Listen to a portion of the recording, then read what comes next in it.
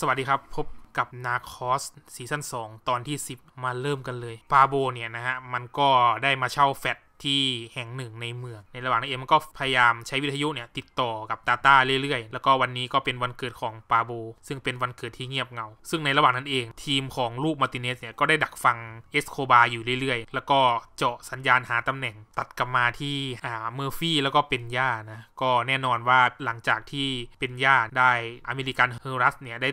Miami Herald เนี่ยได้ตีพิมพ์นะฮะก็ทำให้อ่าเป็นย่าเนี่ยนะฮะต้องกลับ อเมริกาโดยด่วนนะฮะแล้วก็โดนสอบวินัย เป็นที่น่าเสียดายมากเพราะว่าเป็นย่าเนี่ยนะฮะ อยู่กับเมอร์ฟี่มาตั้งแต่ต้นจนจบนะฮะ แต่จะไม่ได้จับเอสโคบาในตอนท้ายก็คืออยู่ไม่จบนั่นแหละ ก่อนกลับเป็นย่าก็บอกเมอร์ฟี่ว่านะฮะ นายช่วยอะไรอย่างหนึ่งสิ จับไอห่านี่ให้ได้ เป็นย่าก็ไปนะฮะ ก็ทั้งคู่ก็กอดกัน ตัดกลับมาที่เอสโคบานะฮะ มันก็กำลังทำอาหารนะฮะ น่าจะเป็นชงกาแฟอย่างแบบชีวิตแบบชิลๆไอ้ลิมอนนะฮะมาจากข้างนอกก็มันก็ชวนลิมอนกินข้าวด้วยนะลิมอนก็เลยบอกว่าเนี่ยผมไปหาเหมือนประมาณว่าเป็นหมอหมอดูมานะเพราะว่าเขาเชื่อเรื่องพวกนี้มาตั้งแต่เด็กเขาก็เลยเอาของรางของรางเครื่องขลังเนี่ยให้ปาโบนะฮะนั่นก็คือพระแม่มารีนะฮะปาโบก็เออรับไว้แล้วก็เก็บไว้ ตัดกลับมาที่มาร์ติเนสนะมาร์ติเนสเนี่ยนะก็คือรอดักสัญญาณอยู่นะฮะตอนนี้ก็คือรู้ว่าปาโบเนี่ยเข้ามา แต่ก็ไม่รู้ว่ามันอยู่ตรงไหนนะฮะก็ต้องให้ปาโบเนี่ยใช้สัญญาณไปเรื่อยๆนะเพื่อที่จะได้จำกัดวงแล้วก็หาให้ได้ในที่สุด ตัดกลับมาที่ปาโบนะก็อยู่ในห้องนะฮะก็เล่นเหมือนเกม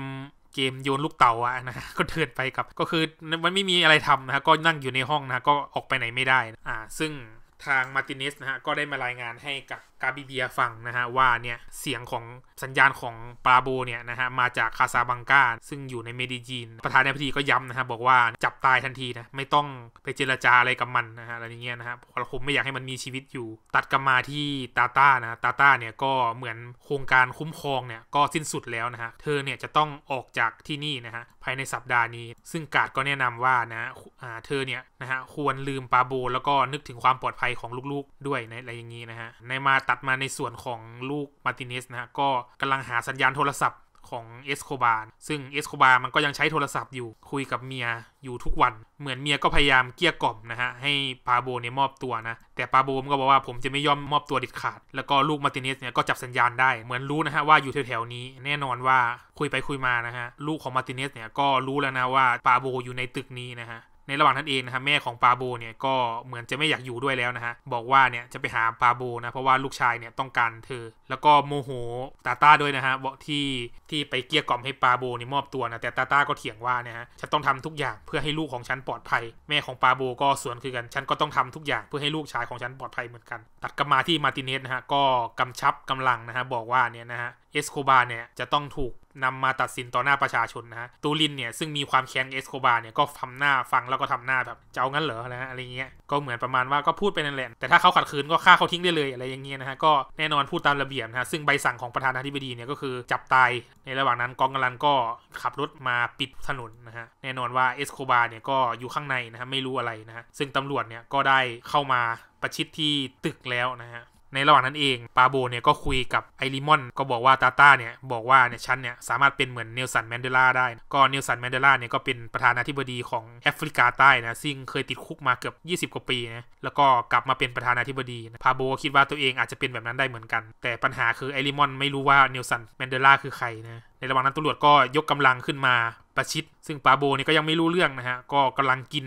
นั่นกินนี่อยู่กองกำลังก็ปีนเสานะขึ้นปิด ชั้น 1 ชั้น 2 ในระหว่างนั้นเองนะฮะพาโบก็ถามกระดาษชำระหมดนะไม่ได้ซื้อมาเพิ่มเมอร์ฟี่กับตูลินเนี่ยก็เข้ามาตรวจในห้อง เหมือนปาโบบอกว่าเบื่ออยู่นะฮะอยู่ในห้องเนี่ยมันทำให้ฉันคิดอะไรไม่ออก ฉันอยากออกไปสูดอากาศบ้างนะนะฮะพอค้นทั้งตึกแล้วนะฮะกลับไม่เจอปาโบ เหมือนจะอยู่คนละตึกกับปาโบนะฮะนะปาโบก็ออกมาข้างนอกนะฮะแล้วก็สูดอากาศบอกว่าคนพวกนี้คือคนของฉัน นี่คือเมืองของฉัน เมดิยินจะไม่มีทางทรยศฉันเด็ดขาด ครั้งนี้นะฮะ ลูกของมาติเนสเนี่ยล้มเหลวอีกครั้งหนึ่งลูกมาติเนสก็เสียเครดิต ก็เข้าไปดูนะฮะว่ามันผิดพลาดได้ยังไง ปรากฏว่าเขามองไป เขาก็เห็นคลองนะฮะเขาก็เลยบอกว่ามันน่าสัญญาณเนี่ยมันน่าจะสะท้อนน้ำซึ่งทำให้การระบุตำแหน่งในผิดพลาดปาโบก็เลยบอกว่าเฮ้ยเอารถมาวันนี้ฉันจะไปซื้อกระดาษชำระนะเดี๋ยวฉันจะออกไปเอง ซึ่งลิมอนก็ไม่อยากให้ไปนะ ก็กลัวนายมันโดนจับนะแต่พาโบก็ไม่สนในระหว่างนั้นเองพาโบก็ขับรถแท็กซี่ไปเลยอ่าพาโบก็ได้มาจอดที่ร้านอาหารแห่งหนึ่ง ก็ดูเหมือนว่าหนวดเขาของพาโบเนี่ยจะยาวนะทำให้คนเนี่ย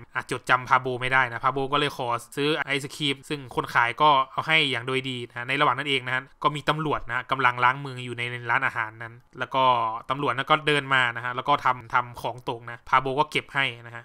แต่ตำรวจคนนั้นก็ไม่รู้นะครับว่าคนนั้นคือพาโบนะพาโบก็รู้เลยว่านะฮะไม่มีใครจำกูได้แน่นอนนะฮะก็เลยถอดแว่นเก็บ แล้วก็เดินเล่นในสาสวนสาธารณะ เหมือนได้ออกมาข้างนอกก็รู้สึกสดชื่นอะไรอย่างในระหว่างนั้นเองนะฮะก็เหมือนภาพจิตจิตใต้สำนึกนะฮะก็กุสตาโบนะก็มาคุยกับพาโบนะฮะอะไรประมาณนี้ อะนะฮะในระหว่างนั้นเองนะครับปาโบก็ขับรถกลับมาถึงที่พักพอดี เขาก็ขอบใจลิมอนนะครับบอกว่าพระแม่มารีเนี่ยได้ผล แล้วก็บอกว่าลิมอนนายเป็นคนดีอะไรอย่างงี้นะฮะขอบใจนะอ่าแน่นอนว่าหากพอกลับมาถึงมันก็โทรศัพท์หาเมียนะฮะก็ไม่ได้สนใจอะไรเลยนะฮะตาตาก็บอกว่านะฮะนี่คุณอยากจะมอบตัวแล้วใช่ไหมอะไรแต่พาโบก็บอกว่าไม่ยอมนะผมไม่มอบตัวเด็ดขาด ถ้าปาโบถ้าคุณไม่มอบตัวเนี่ย เราจะไม่ได้รับการคุ้มครองนะ คุณต้องมอบตัวนะยังไงผมก็ไม่มอบตัวเด็ดขาด ตาตาก็เหมือนแบบไม่รู้จะเกลี้ยกล่อมยังไงเลย พาโบก็เลยเสนอว่าเดี๋ยวผมจะไปคุยกับนักข่าวต่างประเทศนะให้เขามาทำข่าวในระหว่างนั้นเองนะฮะลูกมาเตเนสเนี่ยก็ได้จับสัญญาณโทรศัพท์ของเอสโคบาได้ และเขามั่นใจว่าน่าจะอยู่แถวนี้แน่นอน ในระหว่างนั้นเองนะฮะหลังที่ที่มาจอดรถลูกของมาติเนสเนี่ยก็มองเห็นเอสโคบานะฮะกำลังคุยโทรศัพท์ แล้วเขาก็มั่นใจว่าคนนั้นคือเอสโคบาแน่นอน เขาก็ได้โทรวิทยุนะฮะหามาติเนสนะฮะบอกว่าผมมั่นใจว่าว่าเขาเจอเอสโคบาแล้วแน่นอนนะมาติเนสก็ถามว่าลูกแน่ใจนะ เราทำพลาดไม่ได้อีกแล้วนะ ก็บอกว่าแน่ใจร้อยเปอร์เซ็นต์มาติเนสก็เลยบอกว่าไปงั้นลุยนะ เตรียมกำลังในระหว่างนั้นเองนะเอสโคบาก็คุยกับลูกไปนะโดยที่ไม่ได้สนใจอะไรเลยนะครับว่าจะมีคนแบบดักสัญญาณโทรศัพท์ได้ไหมนะอ่านะฮะทางมาตินิสก็ได้วอมาหาตูลินแล้วก็เมอร์ฟี่นะฮะถามว่านะฮะในฐานเนี่ยมีกี่คนนะที่พร้อมทำงานอยู่นะตูลินก็บอกว่ามี 12 คนเขาก็เลยแบบโอเค นะฮะเราเจอเอสโคบาแล้วนะฮะไปจับมันเถอะนะทั้งกองทัพก็วิ่งกันไปเลยนะฮะในระหว่างนั้นเองเอสโคบาก็ยังไม่ได้สนใจนะฮะก็กำลังคุยโทรศัพท์นะฮะกับลูกเมียต่อไปเมอร์ฟี่แล้วก็ Search Bloc เนี่ยก็ได้นำกำลังมาปิดล้อมแล้วนะฮะในระหว่างนั้นเองนะฮะอยู่ดีๆปาโบเนี่ยก็ได้ยินเสียงหมาเห่า ก็รู้สึกว่าแบบเริ่มไม่ชอบมาพากลแล้วปาโบก็เลยบอกว่ามีอะไรแปลกๆเกิดขึ้นนะฮะเขาก็รับปืนจากลิมอนนะฮะแล้วก็บอกว่าเดี๋ยวฉันจะโทรหานะเมอร์ฟี่ก็เลยเอาที่กระทุ้งประตูนะฮะอ่าเมอร์เคาะนะฮะ ปาโบก็เปิดฉากยิงเลยนะฮะ แน่นอนเมอร์ฟี่ยิงโดนไอริมอนนะฮะริมอนก็รีบวิ่งขึ้นชั้น 2 ทหารก็วิ่งตามมา ปาโบก็หาโยนพวกลังหนังสืออะไรนะลงมานะฮะ ใช้ปืนคู่เลยนะฮะ แล้วก็พาโบกับริมอนเนี่ยก็โดดหนีออกทางหน้าต่าง ด้านนอกเนี่ยมี sniper หนึ่งคนนะฮะ ก็ยิงเข้าที่หัวใจไอริมอน ปาโบก็สู้ตายครับ จังหวะนี้ก็ไม่มีอะไรนะฮะ แล้วเขาก็วิ่งไปตรงอ่ากระเบื้องนะฮะ ในระหว่างนั้นเองกระสุนนะฮะก็เจาะเข้าที่ท้องเขานะฮะทำให้เขาเนี่ยล้มลงนะฮะ ทางนั้นก็ทางเมอร์ฟี่ก็ยิงมาใส่นะฮะแล้วก็วิ่งมานะฮะปาโบเนี่ยก็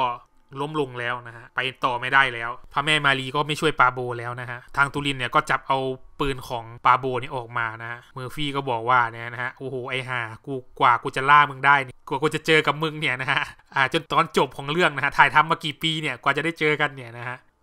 แน่นอนว่านะฮะไม่มีใครอยากให้พาโบเนี่ย มีชีวิตอยู่นะฮะ ทางตูลินนะฮะ ก็จัดการไปหนึ่งนัดนะฮะ เข้าที่สมองนะฮะ ก็พาโบก็จบตำนาน แล้วก็เขาก็พูดว่า ก็เลยบอกว่าโคลัมเบียจงเจริญนะฮะ เราฆ่าเอสโคบาแล้วนะ โคลัมเบียจงเจริญ ตัดกลับมาที่ประธานาธิบดีนะฮะ ก็ได้รับทราบว่าเราจัดการเอสโคบาได้แล้ว แล้วข่าวก็ออกวิทยุแม่ของเอสโคบาเนี่ยก็ได้ฟังข่าวนะ คนนี้ก็ดีใจนะะแล้วก็นี่คือรูปจริงนะที่เขาถ่ายเอสโคบาได้ อันนี้นะฮะ คือ Easter egg นะฮะ ก็คือเนี่ย อันนี้คือเมอร์ฟี่ตัวจริงนะฮะ คนนี้ก็คือฮาเวียตัวจริง ก็ได้มาอยู่กับเป็นญาติตอนหนุ่มนะฮะ ก็กำลังดื่มนะฮะ แล้วก็ทราบภารกิจแล้วครับว่าจัดการเอสโคบาได้เมอร์ฟี่ก็ได้โทรหาเป็นญานะครับบอกว่าเราเราทำได้อะไรตาตาก็ร้องไห้นะฮะ ผัวโดนยิงเข้าที่หัวอย่างเงี้ยนะฮะ เพราะว่าช่วยผัวไม่สำเร็จนะอะไรอย่างเงี้ยลูกก็กำพร้านะฮะ แม่ของปาโบเนี่ยก็มาถึงก็เห็นปาโบแล้วก็ร้องไห้ ซึ่งถ้าใครศึกษาประวัติศาสตร์จริงๆเนี่ยก็จะมีคลิปสัมภาษณ์ตอนที่แม่ปาโบเนี่ยนะฮะพูดด้วยประธานาธิบดีก็โอเคนะฮะสิ่งที่เราทำมาไล่ล่าเขามาทั้งหมดเนี่ยนะฮะแล้วก็ล้างแค้นให้กับกาโลสประธานาธิบดีคนก่อนได้ด้วยอะนะฮะตัดกลับมาที่กิวเปโตนะฮะกิวเปโตนี่ก็คือแก๊งกาลีนะก็เดินมานะฮะก็กำลังคุยกับเมียของเอสโคบาตาตานะฮะบอกว่าคุณมาทำไมนะฮะมีอะไรนะอ่าตาตาก็เลยบอกว่านะฮะก่อนตายเนี่ยสามีเนี่ยได้บอกให้ฉันมาหาคุณนะแม้ว่าคุณกับสามีฉันเนี่ยจะเป็นศัตรูกันเนี่ยแต่คุณก็เคยเป็นหุ้นส่วนและเป็นเพื่อนกัน แล้วกิเบโตก็ถามว่าคุณต้องการอะไร ตาต้าก็เลยบอกว่าฉันต้องการออกนอกประเทศกิเบโตก็ถามว่าคุณเหลือเงินในบัญชีเท่าไหร่ มต้องการจนหมด ไม่ว่าจะเป็นทรัพย์สินและเงินสดคุณถึงจะออกนอกประเทศได้ ตัดกลับมาที่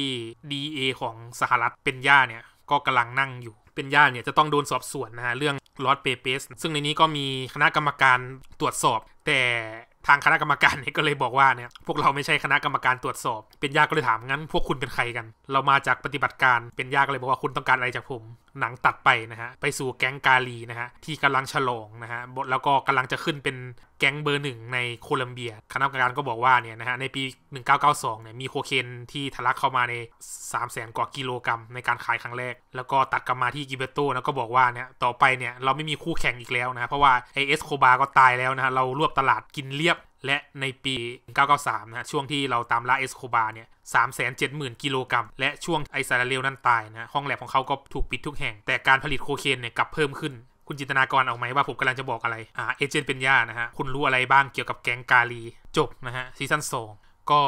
ติดตามชมซีซั่น3นะฮะ ถ้ามีโอกาสทำหนังค่อนข้างจะสนุกมากนะฮะ ลองไปหาดูขอบคุณนะฮะสำหรับการรับชมถึง 2 ซีซั่นนะฮะทำบ้างไม่ทำบ้างนะฮะ กว่าจะเสร็จเนี่ย ก็ใช้เวลาเกือบ 10 เดือน ก็ขอบคุณนะฮะที่รับชมมาจนจบนะฮะสำหรับใครที่ชมมาถึงตอนสุดท้ายนี้นะฮะ ขอบคุณจริง ๆ